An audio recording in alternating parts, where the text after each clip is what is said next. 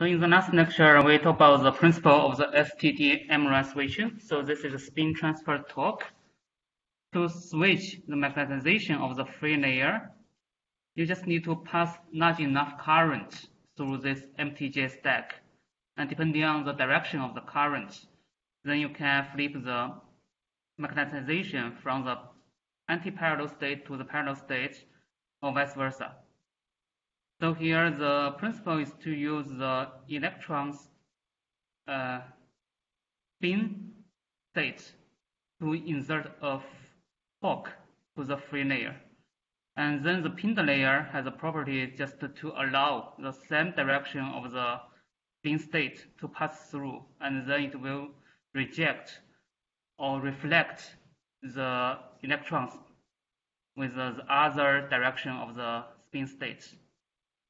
So then this is the switching mechanism, and there will be an asymmetry between the AP to P or P to AP switching, because one is to rely on the transmitted electron, the other one is to rely on the reflected electrons.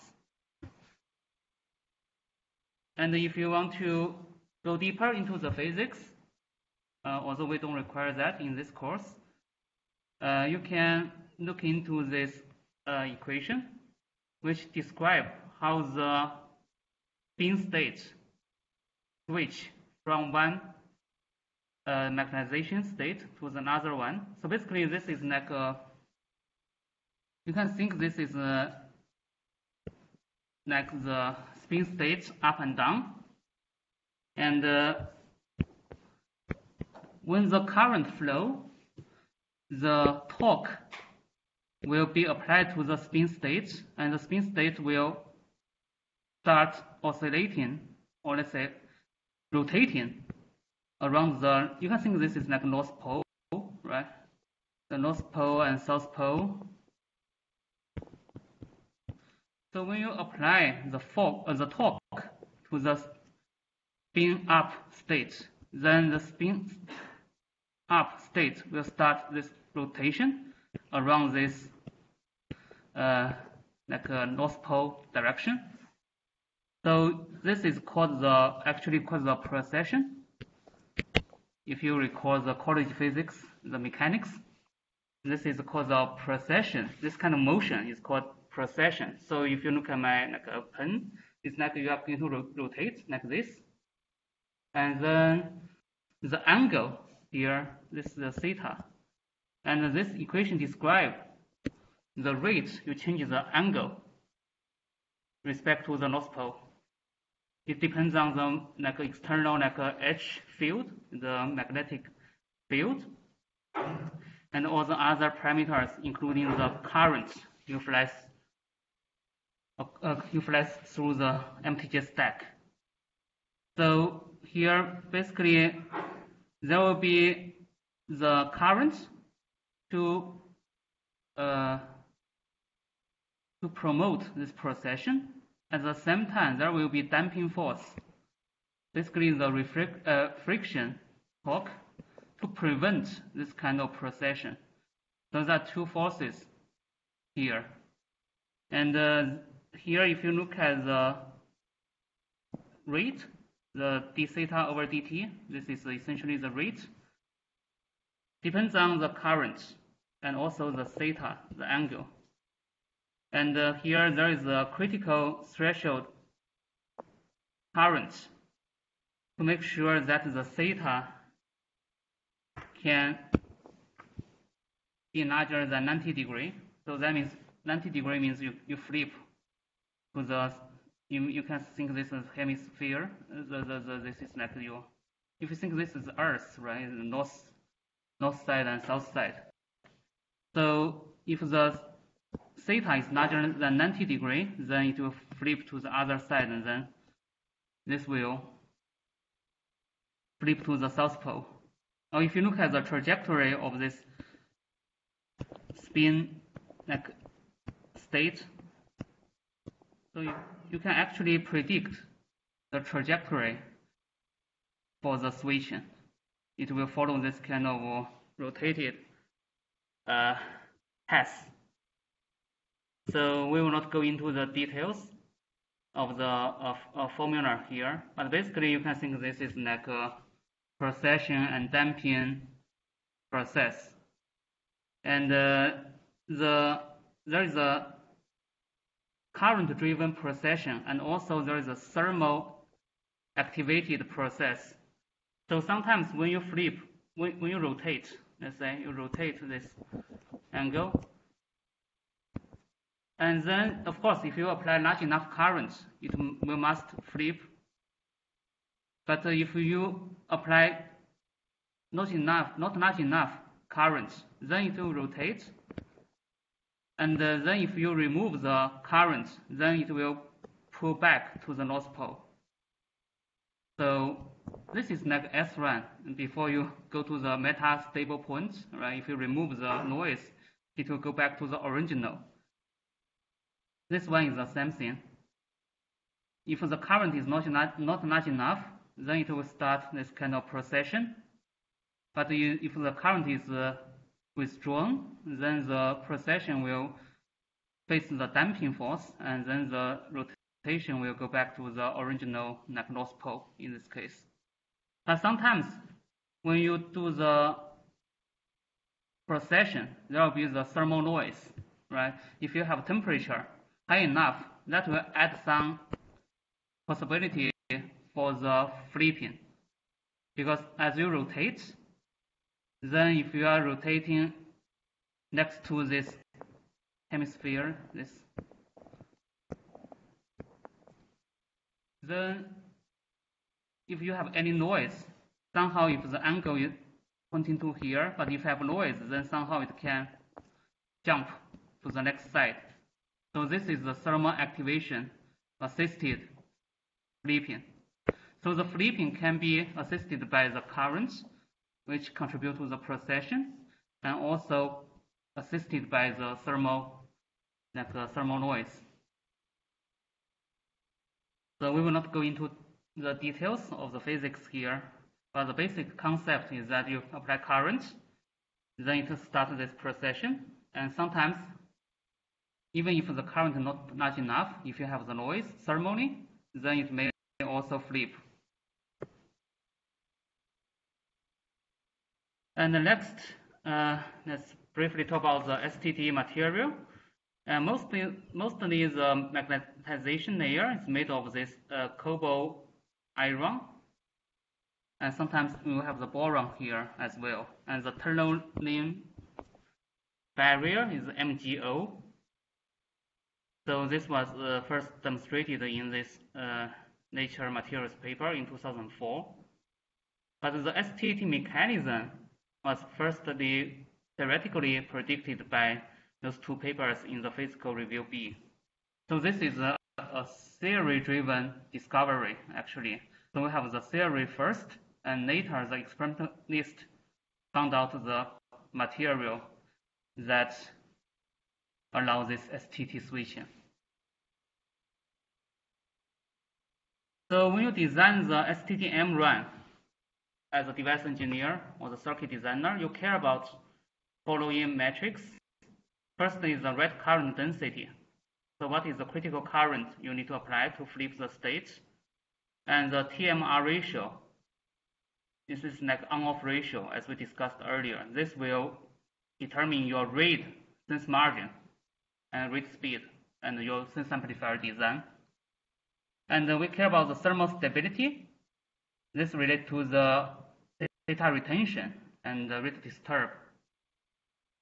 So, oh, and also the MTJ breakdown voltage.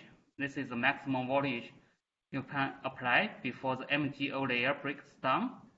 This will relate to the lifetime and endurance.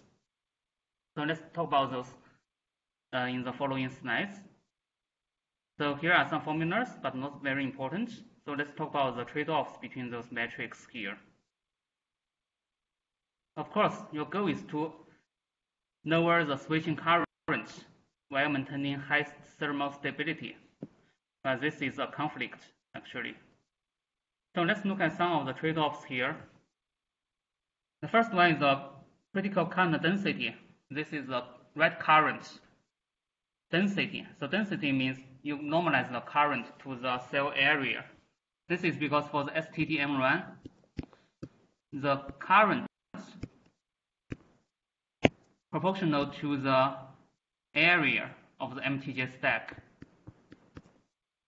So here we normalize the current to the unit area, and here the unit is uh, 10 to the power 6 ampere per centimeter square. So here then this critical current actually depends on the current pulse width. So when you apply a current pulse, the amplitude and the width has a relationship as shown in this figure. So here, for example, when you have larger pulse width, like 1000 nanosecond or 1 microsecond, so here you need 4 4 megaamp per centimeter square. But as you reduce the pulse width, you need to apply higher current. This is uh, easy to be understood, right? Because you apply less um, less duration, you need to apply higher amount of current to trigger the switching.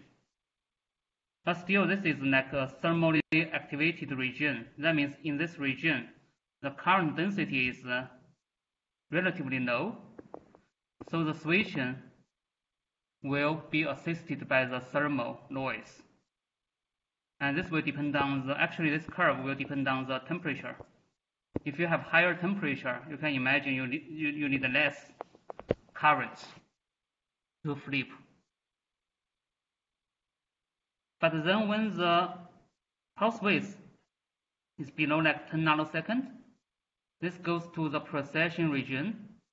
This is because the duration is short, so the thermal aspect can be uh, negligible because thermally you need to have many trials to disturb the state, right? If your time is so short, then the thermal effect will have less chance to flip. So in this case, if you want to flip, then you have to apply large enough current. And this is the, the precession region. So actually this will exponentially increase the current to flip. So if you want to flip the state within like a few nanoseconds, then the current density will exponentially go up. So in here, you rely on purely on the current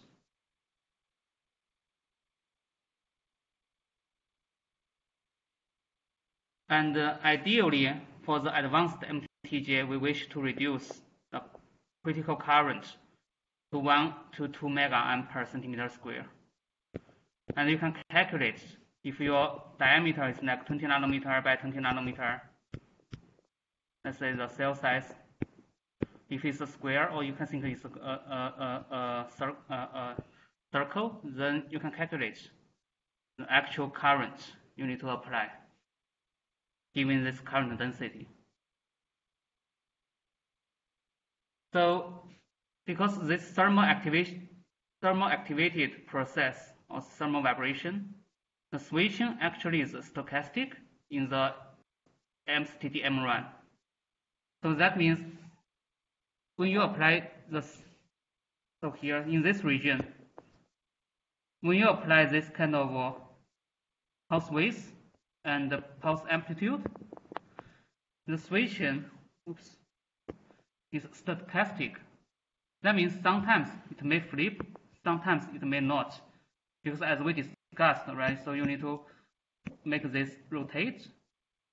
And then here, this is thermal uh, assisted.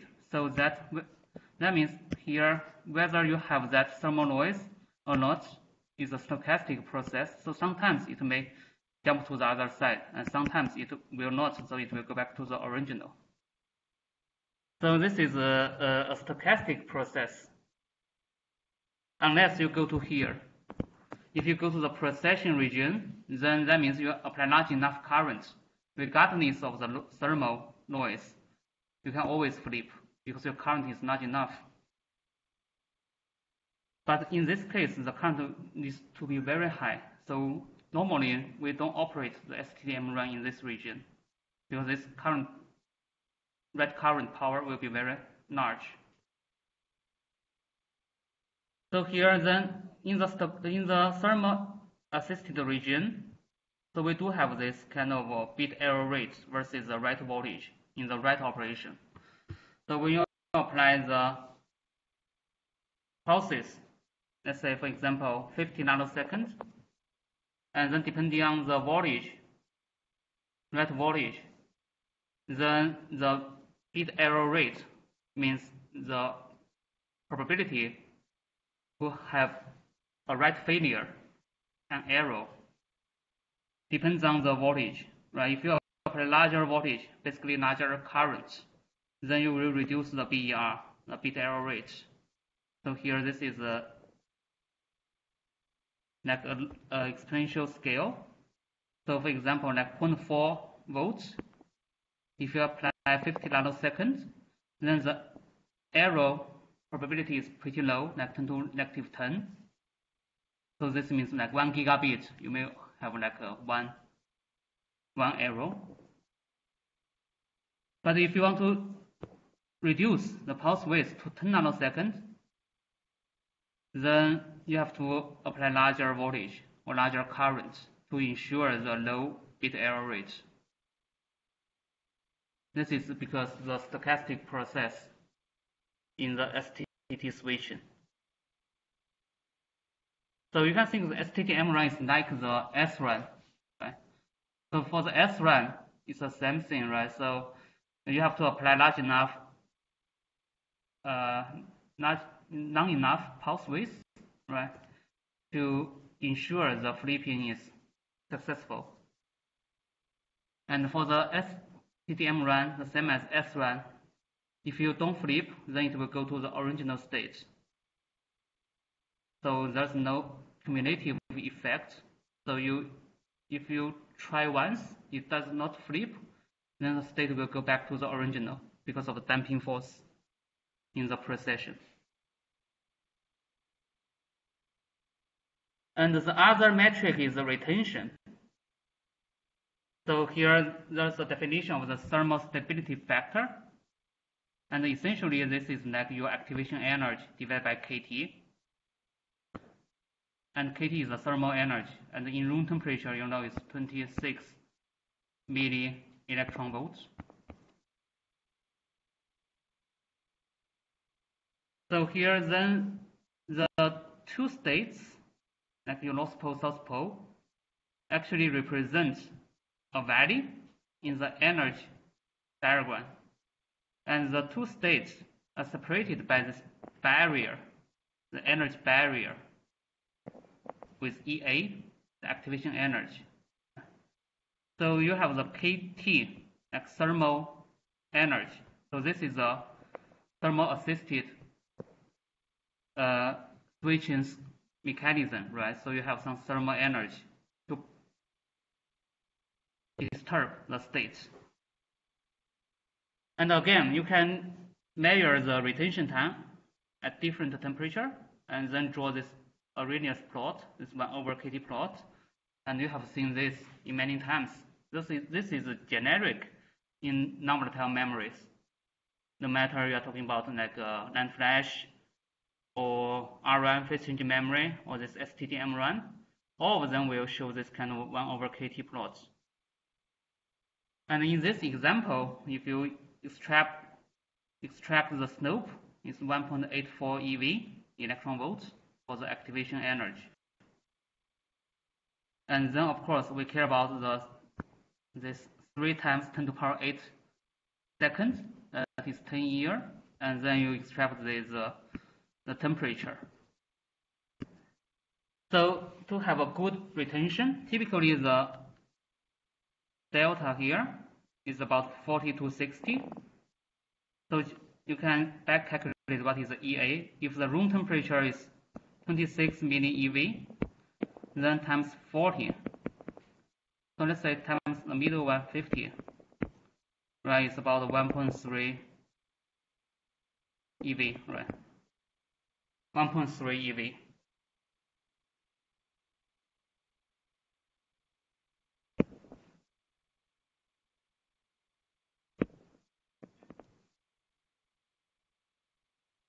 But the thermal stability, this delta, has a trade-off with the switching current density. So typically, higher delta should, should be this trend, okay? For the same kind of material, except this one, then we should have this kind of a trend. This is because the thermal barrier, right? The higher the barrier, the longer the retention, because it's more difficult for the state to flip from one to the other. That means at the same time, it's more difficult to write the data. This is the same like dilemma as we discussed in the SRAM, right? And actually in all kinds of memory, you can think of this, right? The write and the read, or the write and the retention has a conflict. Because when you write the data, you want to flip the state. When you are in the retention mode, you don't want to flip the state. There is a conflict. So here, if the barrier, thermal stability barrier, is EA, is large, then retention is good. At the same time, it's more difficult to write. You need to apply larger current to switch. So here, the figure of merit sometimes is defined as the current density, Jc, critical current density, Jc0, divided by the delta, which is the thermal stability. So you want uh, this value to be small. The smaller the better. That means as a same delta, that means the same retention, you want a lower current to switch.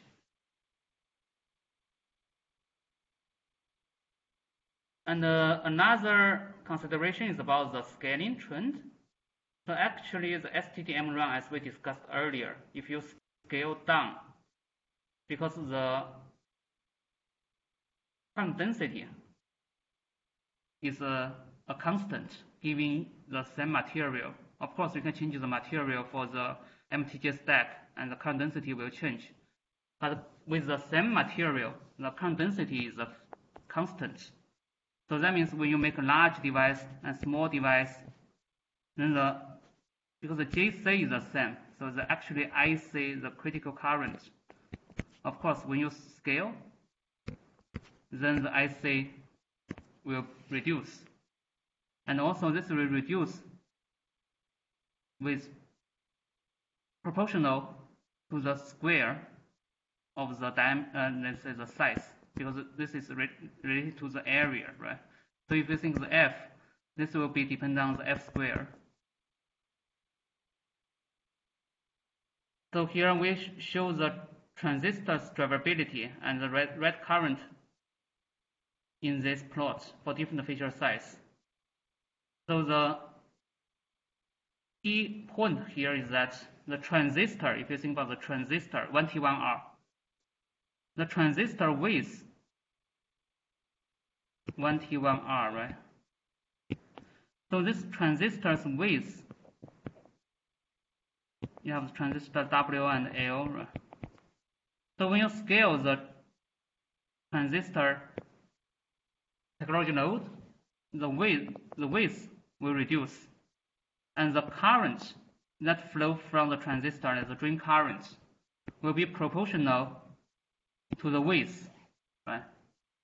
To the width. But here the critical current proportional to the area, or let's say the f square. So that means this proportional to the f, and the IC proportional to the f square. In other words, the critical current shrink faster than the transistor's drain current. So here, if you look at the plot here, the solid line is the red current, and it, it shrink faster. And then for the transistors drive current, the dash line, it shrink uh, slower. So the question to you is that, is this a good news or bad news in terms of scaling for the STT-MRAM? It's a good news. The reason is that, for example here, let's look at this one. If the current density is 4 megaamp per centimeter square for this particular MTJ stack, at, uh, let's say, your transistor current needs to be larger, right? Needs to be larger than the red current. So here at let's say at 65 nanometer node, you need a transistor like 10F, oops, a dash line, 10F, this one is larger than here. So this is good. You need a transistor to provide enough current, right? You want the dash line to be above the solid line. Well, in 22 nanometer node, you see here, 4F in the transistor width could be larger than the solid line. This is the same solid line for this particular MTJ stack.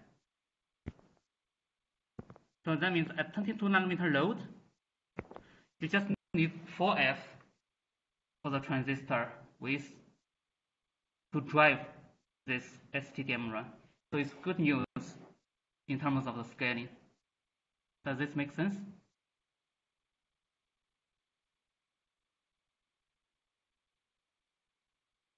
And next, let's talk about the endurance. So the STT-MRAM, in general, the MRAM is regarded as good retention, oh sorry, good endurance.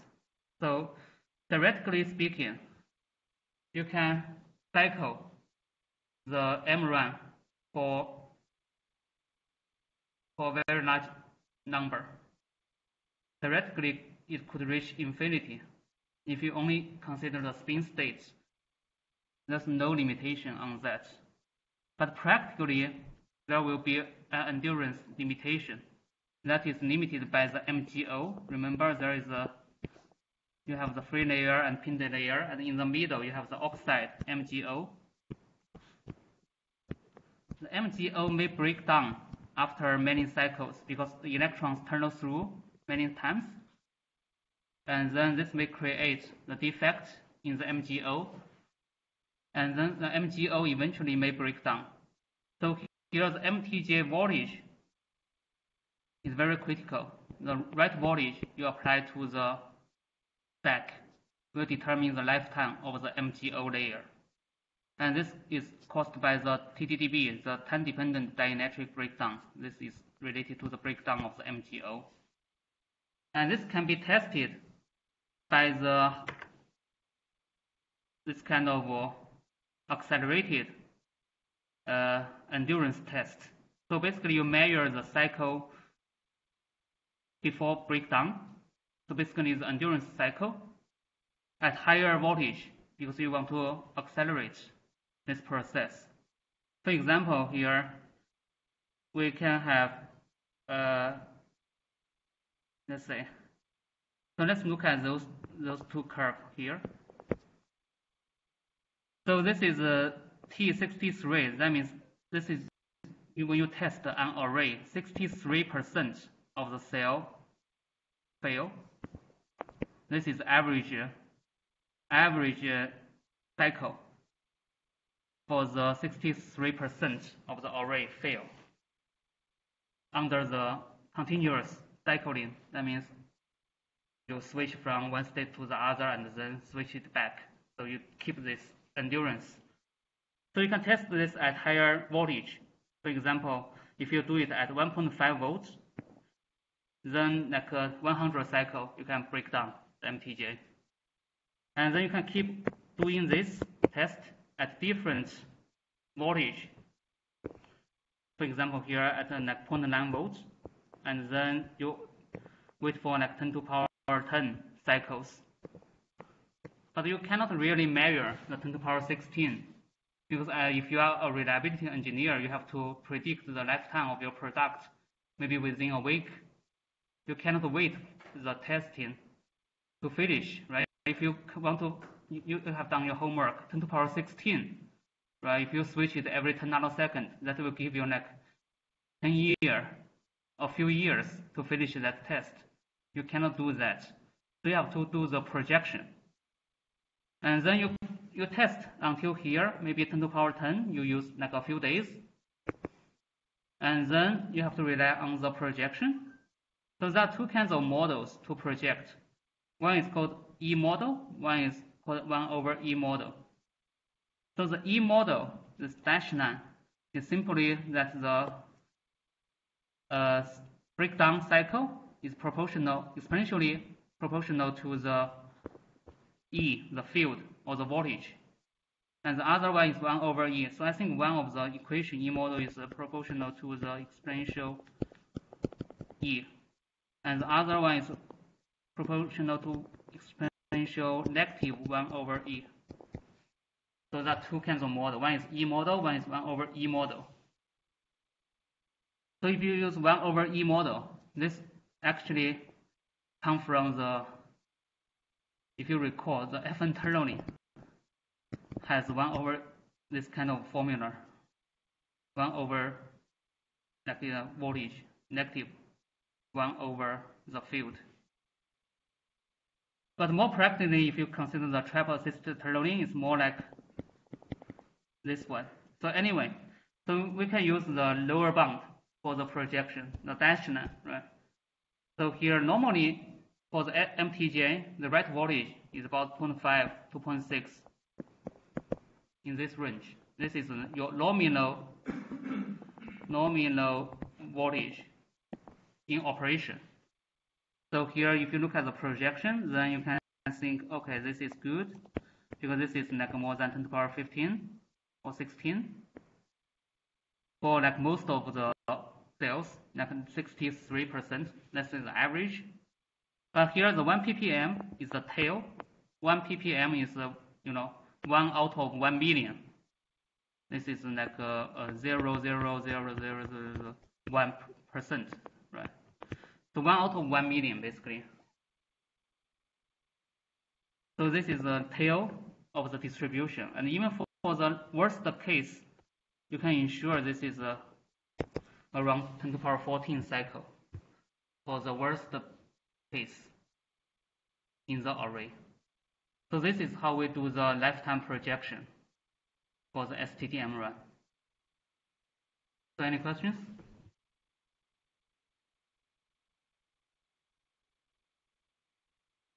Okay, let me see if any questions online.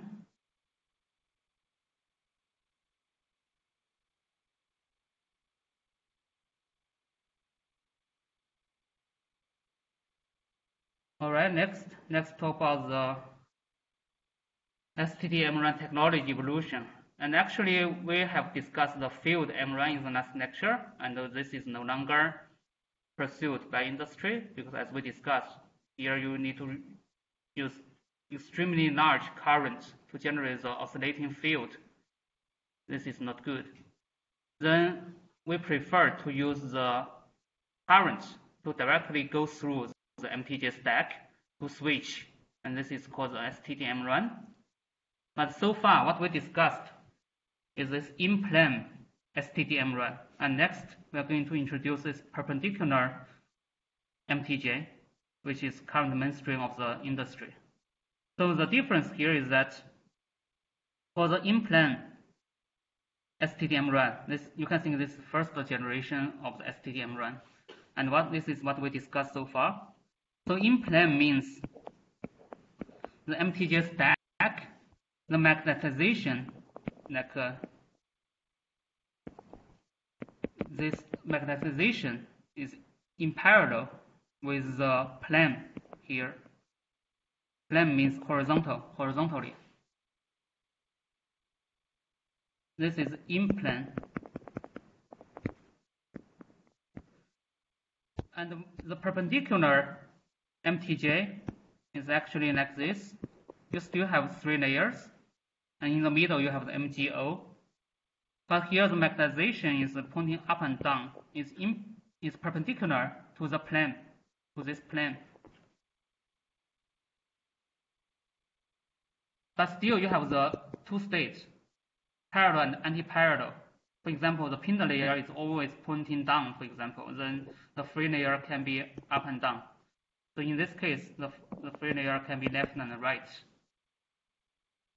So this is a perpendicular, perpendicular. And uh, here we show the differences in the schematic. So why are we interested in this perpendicular MTJ? The reason is that it allows better scaling or lower write current at the same data retention in lifetime.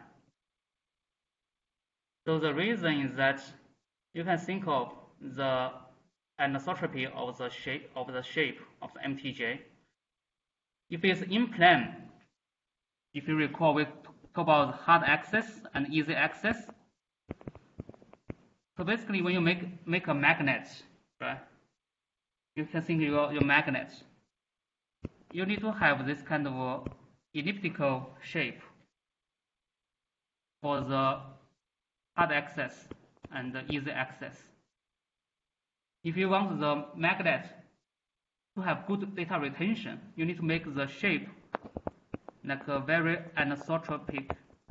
So here, and so it's like the long axis is very long, and the easy axis is very short. Right? That this makes make this magnet stable, the retention good.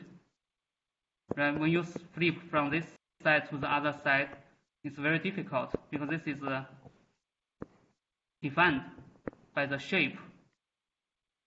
So here we are looking at the top view, top view. This elliptic, elliptical shape, and we have this very long axis and short axis.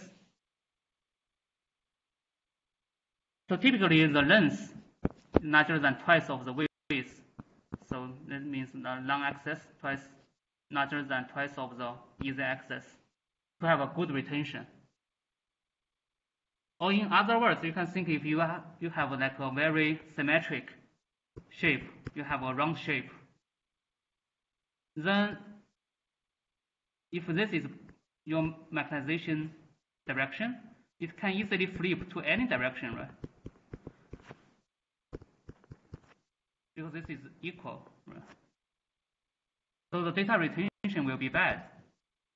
And this data retention will be good because this will be confined to those two directions, the mag magnetization. So you need this geometry to improve the retention. However, if you do the perpendicular design, then you can have the round shape from the top view. Why is that?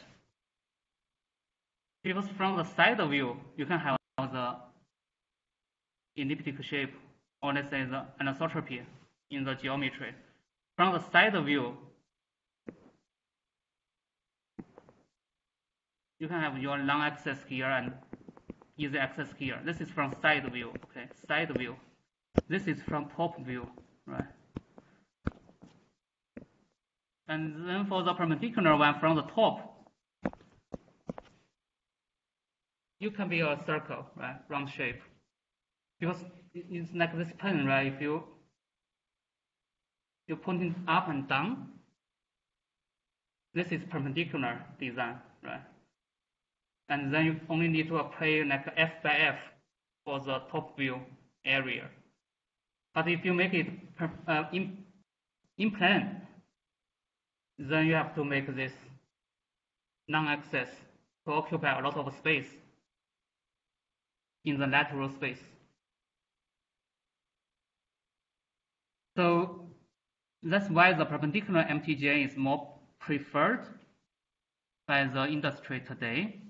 And also from the switching point of view, the in-plane MTJ, the switching path by the spin transfer torque, that means by the current, and the switching path by the thermal activation is different. This is because when you apply the current this way, using the hand, hand, uh, right hand rule, then your torque is along the blue dash path. But thermally, this magnetization or the spin state can only move in plane in, within the material. They have to move this way. So those two are not really uh, consistent. But for the perpendicular case, if you look at this one, then both the transfer torque, if you apply the current this way, then both the torque by the current and also the thermal activation will follow the same path. So that's why it's easier to flip. That means lower write current. So the perpendicular MTJ provide both advantages in the data retention and uh, reduction of the write current. So that's why in today's industry product, I believe all of them use the perpendicular MTJ. There are many challenges in fabricating the MT STT-RAM. I will skip the, some of the detailed discussions. But as we discussed earlier, the on-off ratio is pretty small, like only 2. That will impose a challenge for the sense amplifier design. And also we have the trade-off between the thermal stability and the write current density. So you can engineer your MTJ stack to either have a good retention or you can have a lower write current density. But it's very difficult to achieve both at the same time. And also there are some manufacturing challenges, especially during the edge of the, M, the, the, the STT-MRAM stack, because there are many layers, and especially the MgO. If you etch this, the edge may have some defect. This will cause some leakage path between the two layers. Then that will cause the leakage current and also cause early breakdown of the MgO. That will limit the lifetime of the endurance. So there are many practical challenges in the manufacturing as well. So any questions?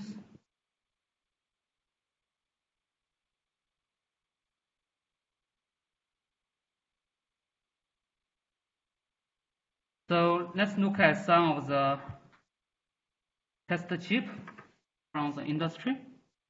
So this is one, one of the early uh, product, not product, I mean the prototype uh, from this startup company called Grandis, and later this company was acquired by Samsung and become the Samsung's STT-MRAM process essentially. So this was uh, like almost 10 years ago, this test chip, around 2010. So this is like a 256 kilobits and in 90 nanometer CMOS at that time. So here you, you see the MTJ is on top and metal 3 and metal 4. And this is a transistor here. So you have the contact via. So it's 1T1R like this. If you zoom in MTJ, you have many layers. And in the middle, you will have this free layer, MgO, and a pinned layer. And from the circuit point of view, you have this 1T1R. And typically, like uh, two cells share one drain contact to the bit line. This is like DRAM, as we discussed before. And then you have the decoder and so on, the peripheral circuits. So the matrix, uh, for example, the write current is about 200 microamp, and uh, you can write and read within 20 nanoseconds. And endurance is uh, projected to be larger than 10 to the power 13. So those are the reasonable metrics from this test chip. So if you look at some of the detailed data from this chip, so here, if you measure the resistance of the two states, the anti-parallel and parallel states, or the HRS and LRS for the one state and zero state, And uh, typically we call low resistance state to be one state. This is zero state. Typically we call like this. Anyway, this is uh, arbitrary, but by convention we call lower resistance as one state because you read out larger currents. But anyway, if you look at the resistance values, it's like around 2, 2 kilo ohm and 4 kilo ohm. So the on-off ratio, right, is like 2x and if you translate that to the TMR, it's about 100%. We need to have a very tight distribution, that's the sigma of the distribution, right? So one sigma is like 4% here, 3% and 4%. So we need to have a very clear margin between the tail and the tail.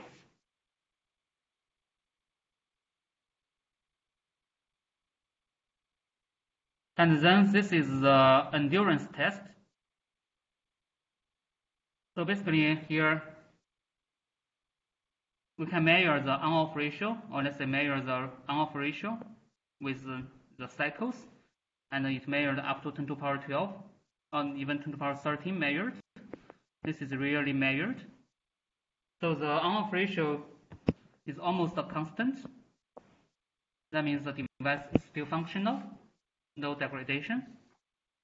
And then, of course, if you measure many cells, there will be a distribution in terms of the on-off ratio. And then we do this projection with the write voltage, right? This is like the E model. At different write voltage, this is on the negative side. But if you do the projection, then you can reach even 10 to power 16 cycles at the nominal operation voltage, for example, like 0.6 volts. Negative is because here the test the, for example, the parallel to the anti-parallel switches. So this is negative 0.6 volts.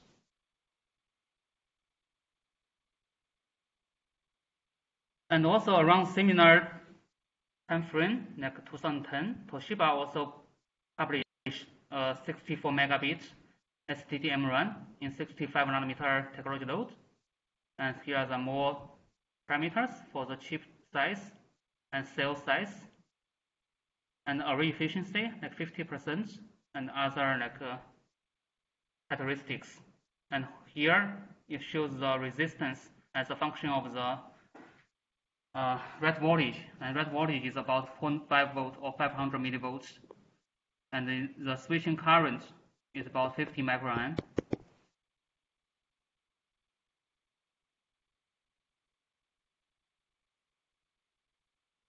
And later, I believe Toshiba proposed to use this STT-MRAM for the last level cache. And this was presented in this ISSCC paper, 2015. So here it is one megabit uh, STT-MRAM and uh, it really optimizes the FPGA stack to make it uh, pretty fast, like uh, 3 nanoseconds for the read and write. Of course, compared to the SRAM, this is still slow, but uh, 3 nanosecond, I would say probably comparable to the last level cache, like L3 or L4. Of course, you cannot compete with L1. L1, you know, the SRAM is below 1 nanosecond. But this is comparable with L3 or if you want to insert L4, then you can do that. So basically here in this uh, system level simulation benchmark, it uh, assumes that you have the uh, 8 cores and then L1 cache 32 kilobyte, L2 256 kilobyte, those are SRAM in the system simulation. And only the L3 is a 32 megabyte shared L3 cache using the STT-MRAM. And this is done by simulation. And so with the measured data from this chip. So here you see that if you use all the SRAM as the uh, three level cache, then you normalize the energy of the system to be one. And then if you use STT-MRAM, then you can reduce the total energy by 70 8%. And most of the reduction come from you see this yellow part, that is the leakage. Because in many applications, your cache is in the standby mode or sleep mode. For the STT-MRAM, you can power off that bank to save the energy. But as well as you know, you have to keep the VDD on. So especially for the edge applications, right? If your activity is not very high, then this STT-MRAM based uh, last level cache could, could be useful. And the STT-MRAM since 2010, it drive worldwide interest from the industry. And uh, here is just some news around the 2010. Really, this is really like a booming for the STT-MRAM around that time. And there are many companies working on the STT-MRAM. And uh, there are uh, big companies like Intel, TSMC, and uh, Global Foundry, and Toshiba, IBM, and also Qualcomm has been investing STT-MRAM for a long time. And there are many startups as well, like those like Avalanche Technology and uh, the TDK, Everspin. So those are the startup companies. So there are like more than 10 companies working on STT-MRAM these days. So here are some recent uh, results. So Tohoku University from Japan actually has been doing a lot of great work on the STT-MRAM. This is a university, but it has really good fabrication ability for the STT-MRAM. So this is uh, the recent result from IEDM 2018.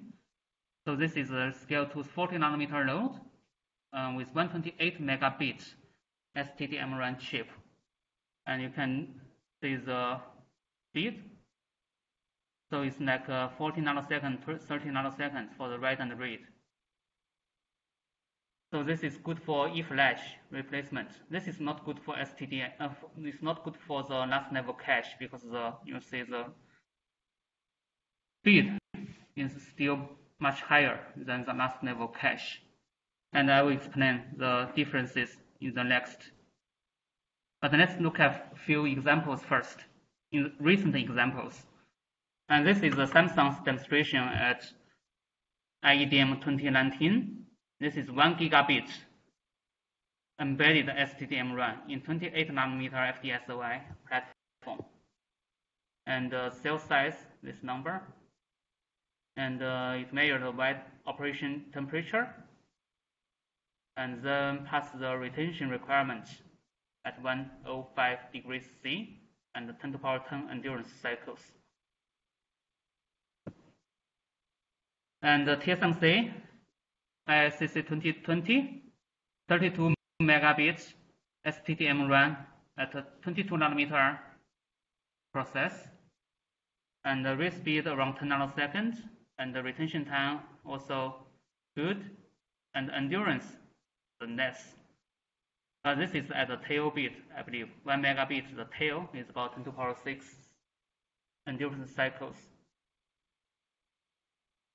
And Intel also reported the STT-MRAM progress in the IEDM 2019. And uh, actually, Intel has two flavors. One is for the embedded non-volatile memory. This is for like eFlash replacement.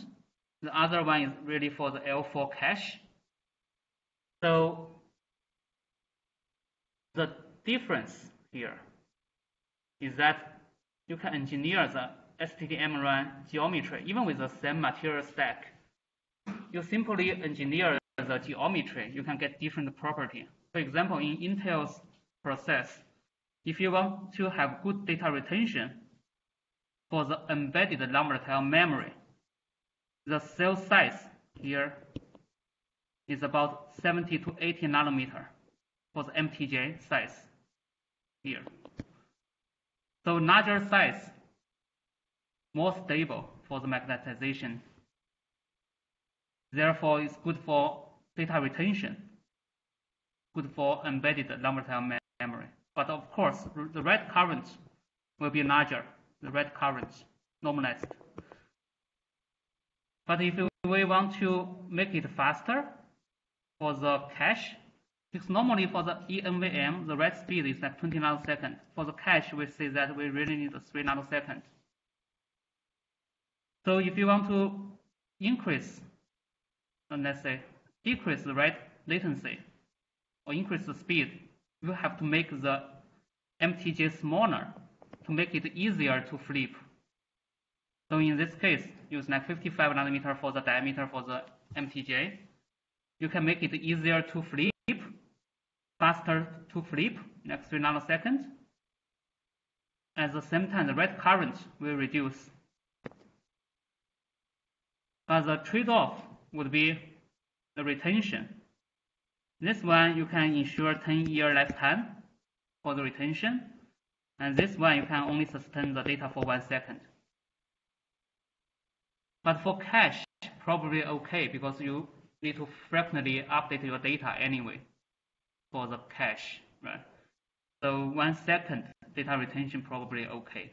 So there's a trade-off, two flavors, and I believe Intel demonstrated both options as a same technology node, the 22 nanometer FFL, a FinFET platform for the low power and RF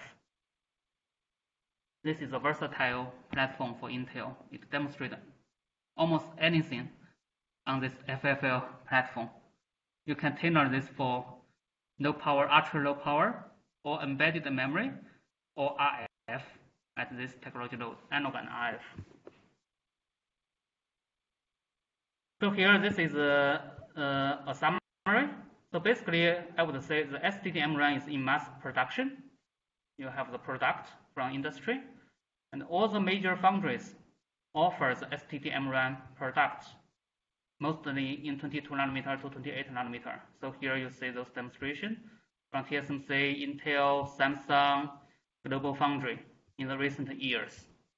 So the STT-MRAM is uh, the most mature non-volatile memory among all the emerging technologies in terms of the industry availability. So next, I'll quickly go over those slides. So basically, this is a, a summary for the recent demonstrations or the product from those major companies. And here we summarize the data from the recent conferences in terms of the on-off ratio and the MTJ size, and then the cell size in terms of F square, we normalize that and then the write and read pulse condition and the endurance and retention. So here, the first table, this is for E-flash replacement. So this one needs good retention, right? So you see that the retention can be good, larger than 10 years or even 20 years at higher temperature. But the trade-off here is the endurance, right? You see those two. So you have good retention, but endurance typically is like 10 to the power 6, 10 to the power 5, 10 to the power 6, around that. But this is good because for e-flash, even for, for flash, as we discussed earlier, right, the endurance is around that 10 to the power 5 or 10 to the power 6 for the embedded flash. So it just meets the same targets as the embedded flash. The retention is good, and endurance is reasonable for the E-flash. And the speed is typically like slower, tens of nanoseconds to hundreds nanoseconds. And cell size, if you normalize that, it's like a 10 f squared to 100 f squared. And then the different flavor, as we discussed earlier, for the last level cache so you have to trade off the retention with the speed. So the retention typically reduce to like seconds or minutes. You see this. But for cache, we need to have good endurance. You need to frequently write the data. So here you trade off with endurance. Endurance can be generally larger than 10 to the power 12 cycles and the speed is also reduced to a few nanoseconds a few nanoseconds, less than 10 nanoseconds from different foundries. So you see the two options for STT-MRAM. One is for eFlash and one is for last level cache. And you have to engineer the MTJ stack differently for different op uh, options. And uh, any questions here?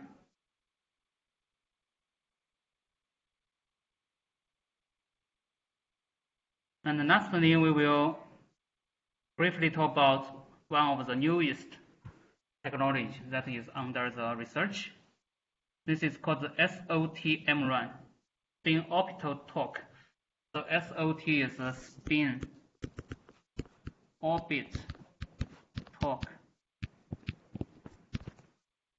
SOT-MRAM. And the SOT-MRAM, the difference is that, that here we have the same MTJ stack, but the difference is that here in the bottom here, we have a metal, and typically it's a heavy metal. Heavy metal means the at atomic mass is large for this metal. For example, like platinum or uh, I forgot platinum and maybe copper. I'm not so sure. So some heavy metal, I believe platinum is there. Or maybe tungsten. Yeah, I remember tungsten. Yeah, tungsten was there. So anyway, with some metal. So this blue like uh, stem is a metal, and that is directly interfaced with the MTJ stack. So the SOT switching is a little bit similar as the field switching MRAM, which discussed earlier. The only difference is that here the metal wire directly interface with the MTJ stack. But for the field MRAM, if you recall earlier, there is a metal right, line underneath, underneath the MTJ, but this is separated. So you generate the oscillating field, the magnetic field, by passing through the current here to switch this layer. Here the same mechanism. You apply write current on this heavy metal, and then it will generate the uh, handle field. We cannot say its field. It's called the spin orbital effect. But anyway, so the idea is to pass the current on the heavy metal, and then due to this spin orbital effect, then it can switch the direction of this magnetization of the bottom layer. So in this case, this will be the pinned layer, and the bottom will be the free layer. Because here the current will directly change the magnetization of the free layer, which is interfaced with the metal. And there are three types of the SOT-MRAM, depending on the direction of the current and the magnetization. For example, this type X, both the write current and the magnetization are along the X, X axis. So this is type X. Type Y, the magnetization here, the long, basically the long axis is on the y direction, and the write current is still on the x. So here in the three examples here, the write current is always along the x-axis, but the magnetization, the long axis of that magnet, the first one is along the x direction, the second one is along the y direction, and the third one is along the z direction. And here the X type X and Z is external magnetic field to assist the switching because there's no there's uh, no asymmetry. But type Y is field free. You don't need to apply external magnetic field. But but it's slower. So we don't need to care about those subtle differences here. But the principle here is that you apply write current to this heavy metal and that can switch the free layer, the green one here. So if you compare this with STT-MRAM, what would be the difference? The red path is different. So here in the SOT-MRAM, your write is through the heavy metal, you apply current along this direction. But when you read, you still do this 1T1R, this 1T1R. Uh, so this would be your read path. So here the read and the write and the write are decoupled.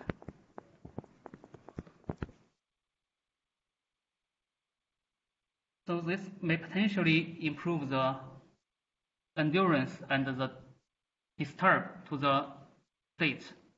Because if you do the STT-MRAM for the 1T1R, right, for both write and read, you will go through the same path. The only difference is that in the write, you apply large current. When you do the read, you apply small current or small voltage. So they share the same path. Therefore, there will be the disturb issue. But for this one, the write and read are completely separate. Then this one will be more safe in terms of the disturb and the data retention and so on. And uh, there are some tricks to design the SOT-MRAM. For example, this is from Tohoku University. And then they call this is a magnetic field free canted SOT-MRAM. So the trick is that for the long axis of the magnetization, it is pointing to this direction. And then the metal wire for the write is pointing to this direction. So there is a canting angle here. So that provides, that breaks the symmetry. And then it can rely on the current only here to flip the magnetization of the free layer. You don't need to use the external magnetic field. And this has been demonstrated in this uh, CMOS process. So basically here you have to have this SOT channel, which is this heavy metal. And then you have MTJ here. And typically for the SOT-MRAM, I have forgot to mention that you need two transistor as a selection. So 1T1R now become 2T1R because you need a read a selection transistor for the normal 1T1R and then you need a write transistor to control the write path. So you need two, two transistors. So theoretically speaking, the cell size will increase. So the advantage for the SOT-MRAM mostly is in the ultra-fast switching. So the SOT-MRAM has been experimentally measured to be switchable between, I mean, below one nanosecond. So if you really want to have a faster switching, let's say comparable with a level one cache, SOT-MRAM is the only solution among all the emerging non-volatile memories. So here experimentally demonstrated the switching can be down to 0.35 nanoseconds if you convert to the clock frequency, it's like 3 gigahertz. This is uh, tested under around 800 millivolts, so it's pretty reasonable, small voltage. 800 millivolts can switch in 0.3 nanosecond. So this is comparable with L1 cache. So if you want to replace the L1 SRAM, then the SOT-MRAM is the only possible solution. But I would say the SOT-MRAM is a very new phenomenon, uh, only has been researched for a few years. So it's at a very early stage in terms of the re uh, uh, uh research and development. So here are some summary from the Tohoku University in terms of their work. And uh, in this case, they integrate the SOT-MRAM on a 300 millimeter wafer on 55 nanometer process for the first time. And as we discussed, 0.35 nanosecond switching time. And the thermal, uh, thermal stability factor 70. So this is pretty good. You can, uh, can simultaneously satis satisfy the retention more than 10 years. And uh, yeah, so this is pretty much the summary from this work. But the only challenge I can see for the SOT-MRAM to replace the ST, uh, SRAM L1 cache. Although it has good switching speed, the write current is still too high. So we didn't list, oh, it's listed here, but it's in the current density. But if you convert this to the write current directly, this typically will be like 500 micron. So you need to pass 500 micron to switch this like 0.35 nanosecond. This 500 micron is applied to that heavy metal. So you have this SOT and then this layer. You need to apply 500 micron to this SOT metal. This is a challenge. This is too large. So we have additional transistor here to drive this 500 micron. So from the cell size point of view, this transistor will be huge. And you have additional transistor here. Of course, in the layout, it won't be on top. But from the circuit schematic, it's on top of this ST, MTJ. But of course, in the real layout, you have to put this down somewhere here maybe, and then let's do this. So here basically you have some space for another transistor and then connect to the MTJ on top. So from the cell size point of view, the SOT-MRAM compared with SRAM, the advantage is not that large.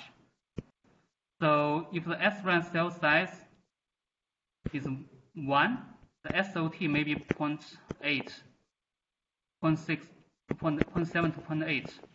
So not too much advantage in terms of the area because you have two transistors and the transistor size is huge to drive this 500 micron.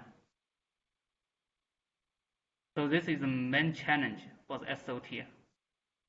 The research needs to be done to reduce this write current. Alright, so this is another example from the Tohoku University for the SOT chip, only at 4 kilobyte level. And I will skip the details. So this is still at early stage in the kilobyte level. And you see the STT-MRAM is already in tens of megabytes. So this is uh, still early research. All right, so this is the summary for the MRAM section. So first we talk about the field switching MRAM, and this one has been abandoned by industry because it cannot scale. And STT-MRAM is more attractive, and STT-MRAM is the mainstream for the industry right now. And there's a fundamental trade-off in the STT, that is the switching current density versus the thermal stability. So that give us two flavors, right? One is more thermally stable for the E-flash, and the other one is easier to flip, that is for the cache. So for STT, and we also discussed today, the industry prefers the perpendicular MTJ because it offers better scalability with those trade-offs. And the STT-MRAM has been positioned for the E-flash replacement. This is uh, of interest to the MCU microcontroller. And also it has been engineered towards high retention. And also some of those companies position this for the automotive uh, uh, applications, right? You want to use this under the hood of the engine, right? For your car. And also STT-MRAM has a theoretically non-endurance and uh, is attractive for the last level cache. But uh, we have to be careful from the density perspective. The STT-MRAM must scale to the leading edge node.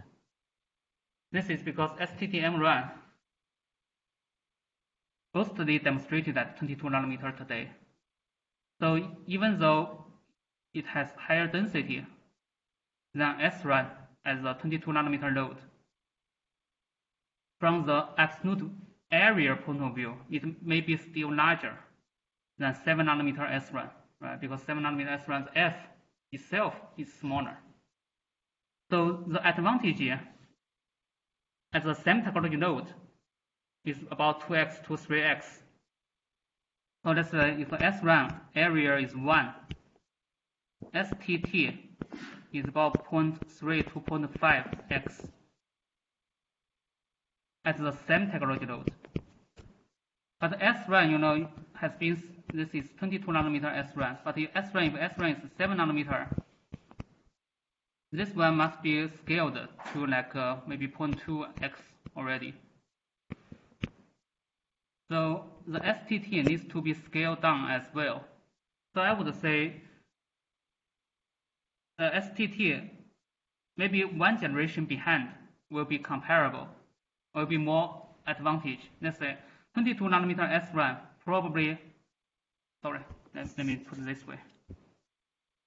Uh, maybe 7 nanometer SRAM, if you design STT at 14 nanometer or 10 nanometer, you can get a similar density, right? Maybe this is more comparable. But if SRAM is scaled to 3 nanometer very soon, I believe next year, right? Then if STT cannot go to 7 nanometer, then STT has no advantage in terms of density compared to the SRAM because SRAM has been scaled to 3 nanometer. So STT must scale down to at least 7 nanometer to be more competitive. So scaling is important for the STT-MRAM. And I believe I heard from some of my contacts at industry, they are working on 7 nanometer STT at this time. So anyway, so the STT is uh, mature compared to other emerging technology, and most most of the foundries, like Samsung, TSMC, Global, Intel, are offering commercial process at 28 and 22 nanometer node. This is not for SRAM replacement. This is for eFlash. For eFlash, the competitor, you know, is um, uh, like 1.5T split gate, NOR flash right, which is mostly at 40 nanometer node. So this is already more competitive than the eFlash. And uh, lastly, we talk about SOT. This could be the next generation. Offer high speed, like sub-nanosecond switching. But still, the write current and energy is too high today. With uh, the researchers need to do more jobs to reduce the write current, therefore the red energy. All right, I think that's all for the MRAM section. Any questions? If no, we will stop here today.